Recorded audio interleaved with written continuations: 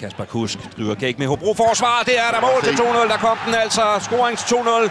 Van Vært med sin første scoring for OB, og altså 2-0. Børsting her. Van Vært skaber sig pladsen og kommer til målet og scorer sit andet mål i dag. Og for OB og et fantastisk godt i af slagsen.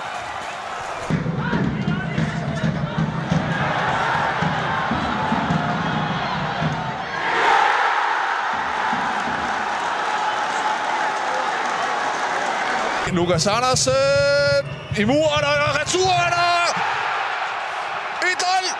Van Vært, der stort set ikke har... Udmærket spillet af OB'erne. Lukas Andersen, hvad finder han på på kanten af feltet? Ah, den har de læst. Kasper Kusk tager den med videre. Van Vært. Og 1-0 til OB. Kasper Kusk binder det fint sammen. Christensen tager sigte og opfølgningsmulighed. Van Vært i to omdæringer. Van Vært reducerer for OB. Og det var Schweinsteiger. Og den der, han lige ved nappe. Milits, der strækker sig, men den lister sig ind. OB igen på spil. Van Vært. 2-1.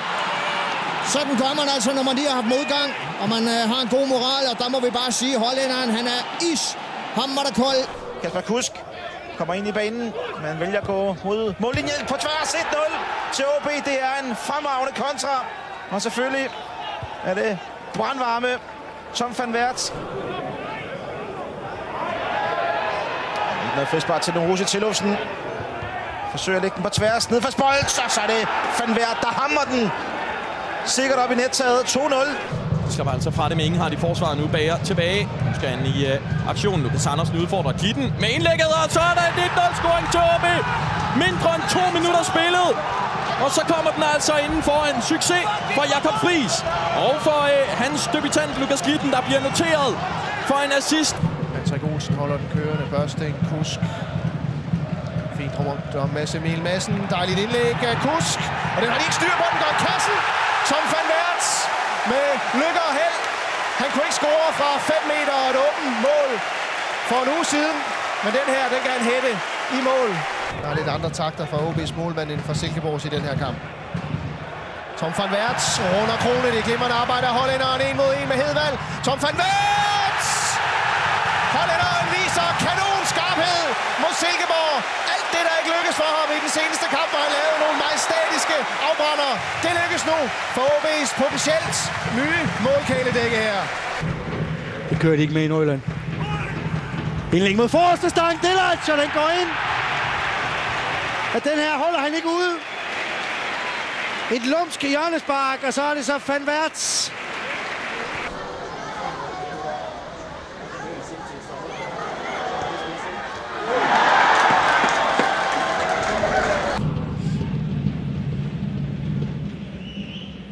God bolddybde fra netop Andersen til Patrick Olsen.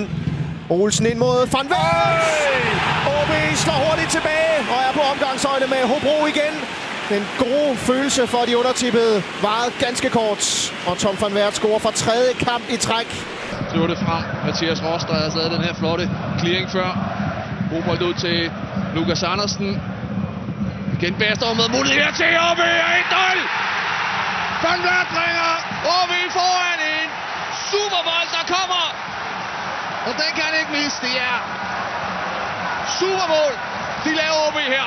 Man ved jo godt, hvor fantastisk Lukas Andersen er, når han har bolden og bliver som her isoleret en mod en. Masser af plads herud til Alman. Kører på igen. OB 2-0!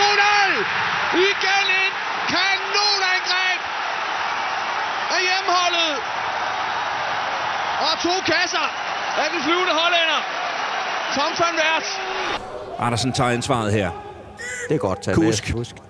Kommer ind i feltet. Takles i skudøjeblik, og der er Van Vært, og så bliver det 1-0 Uh, her har den. til OB. Ja, mål tæller. Det gør det.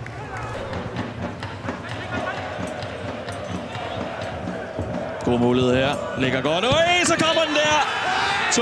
Hvor er det godt sat op det her. Og så er det ellers Tom van Vært, som bringer OB oppe med to på Sears Park. Van Vært til bolden her, og han sætter den sikkert. så sikkert, som man kan sætte den, når det er, målmanden går til den anden side, så øh, ser det jo altid rigtig, rigtig godt ud. Og 1-0 til OB. Det er faktisk første gang i karrieren, han spiller over 30 ligakampe. Stor fejl. Jesper Olsens dimensioner, og det er Tom van Werts, der sparker OB i front. Han triller den nærmest ind over stregen. Det er for meget at blive ved med at spille på tværs med så kort afstand. De får den i hvert fald lige i hovedet igen. Alman med ny indlægsmulighed. Fire i feltet. En af dem er Van Wert, der og banket den i kassen. OB med forløsningen, og det første mål i 2021-sæsonen. Tom van Wert på pletten. Ja, det er længe siden, at den her forseelse er blevet begået. Og se, Tom van Wert. Den sidder midt i målet, og OB har udlignet til 1-1. To straffesparkscoringer, et for hvert hold, og balance i tingene.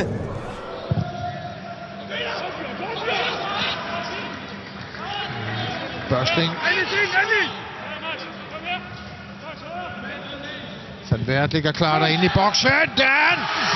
Og får den lige præcis ind over.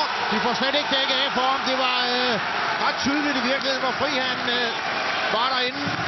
Og så er det altså 2-1 til OB Van Vært, der har haft en svær tid. Pellesen. Udmærket indlæg, der danser og hopper op, bliver stødt i mål. Tom van Wert stokker op og giver OB en uvurderlig føring. Sender fodbold for Aarhus. AGF mod Randers her. Tom van Wert, der får foræret en friløber. Van Wert!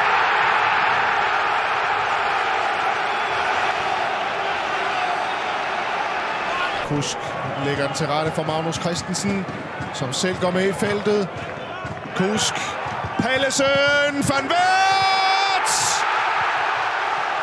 Alt går op i en højere enhed for OB.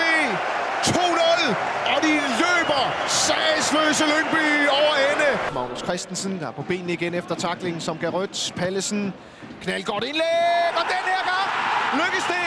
En OB'er at få den hen i kassen. Tom van Wert med det, der måske er et afskedsmål til publikum i Aalborg.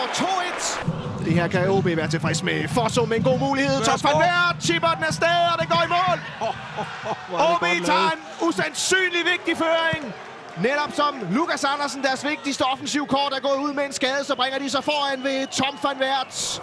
Men nu er det Tom van Wert i Europa Playoff-finalen for OB, og han gør det med sikkerhed. Nordjyderne er fuldstændig efter spillerchancer tilbage i opgøret, og det hele er lige i kampen om den europæiske billet igen. Ja,